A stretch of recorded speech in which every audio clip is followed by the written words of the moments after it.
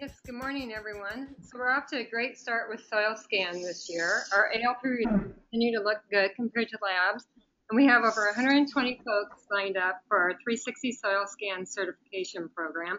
And we'll be shipping out round one of those soil kits next week, so you can expect those coming if you've signed up for the program. Now, to help kick off the beginning of the season, I wanted to cover a few items on the maintenance and troubleshooting of these sensors. We'll go to the first slide here.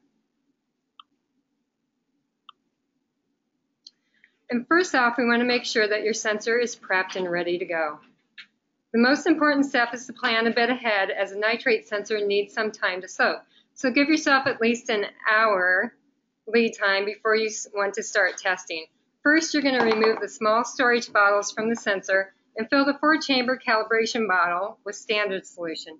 And then place the calibration bottle on the sensor, sensor shelf and let the sensor soak for a minimum of one hour. If you know you're going to be testing the next day, you can let those sensors soak overnight. This step is extremely important for good results, so make sure that you give your sensors time to soak in that standard solution. Secondly, make sure that you've downloaded our most recent software update. We've got version 2.01 listed on the slide, but I found out yesterday that we have version 2.02 available in the App Store right now. We're continuously adding features and enhancing checks behind the scenes so this benefits both you and our product support team if you have any questions about your sensors.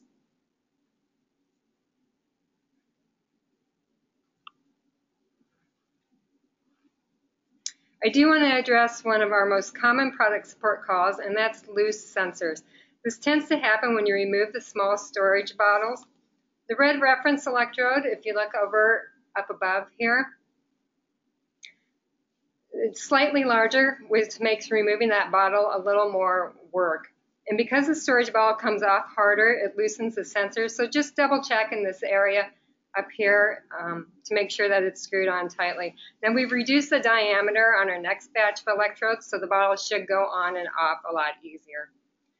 And I also want to point out that occasionally we'll get a call on the bottom of the reference electrode that slides down a little bit. If you look down here, you can see that this one is about 1 16th of an inch down. This was a manufacturing issue which has been resolved. The sensor will still calibrate and read properly like this, but if you see it starting to slide out or if it comes out altogether, let us know and we'll be happy to send you a free replacement. Now, if you're seeing multiple error messages like the one we have on the screen here, such as this during calibration or testing, make sure that you go through these spot checks above and recalibrate. We give the option to continue, but I would recommend recalibration if this happens often. Otherwise, you'll have the calibration issue and you may end up seeing incredibly high readings, such as we see on the right-hand side with the 500 ppm. And generally, I see that 500 ppm number when we have multiple sensor errors when our calibration number is off a little bit or when the bottle has been left off and then it's been put back on late too. Now, if you can't solve the issue troubleshooting, you can go into our diagnostics page. We have this under the settings tab.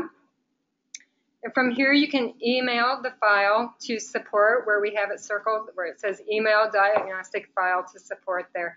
This is going to send us the behind the scenes record of what's going on with your machine. When you do email it, make sure to include your name, your contact information, and a brief description about what is happening and the problem that you have. So if you look over here, there's a lot of information going on on this page. We have sensors one, two, three, and 4. You can see sensor 4 there tells us that the nitrate sensor is in, and then we have a calibration of 0.971. You also see the pH sensor up above, and that's a zero calibration. And normally when those sensors are loose and unscrewed, that's where we see a zero calibration. So you can go back and check for that sensor to make sure it's screwed in good. So the current app version 2 is also listed right here. So between the app version and the sensor calibration, if you call in um, our product support, these are one of the first questions that we'll have for you.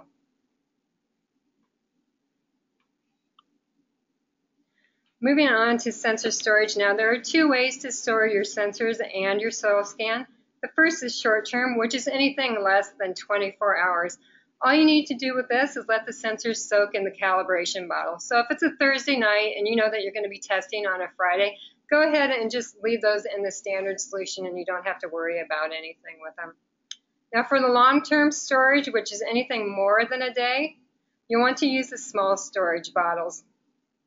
These are identified with the sensor name, as you can see in the picture, and how to store them. Now it's important to remember that the nitrate sensor, which is the gray sensor, stores dry. All you have to do is slip on the cap and the bottle and tighten the cap into place on the sensor body.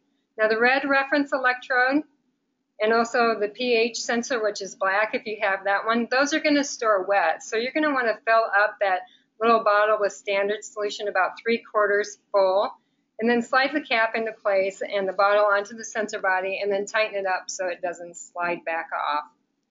Now also remember to store your SOILSCAN inside at room temperature. Don't let the machine or the sensors sit in an extreme environment such as the inside of your truck cab on a hot August day. A good rule of thumb we use is to follow or is to treat your SOILSCAN and your sensors how you treat your iPad. So if you bring your iPad in for the day, bring in your SOILSCAN too and keep it out of the elements. So this has been a quick summary of the basic practice practice tips to follow to make sure that you have good results.